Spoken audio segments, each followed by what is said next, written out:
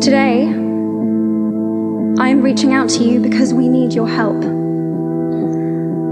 We want to end gender inequality. And to do this, we need everyone involved.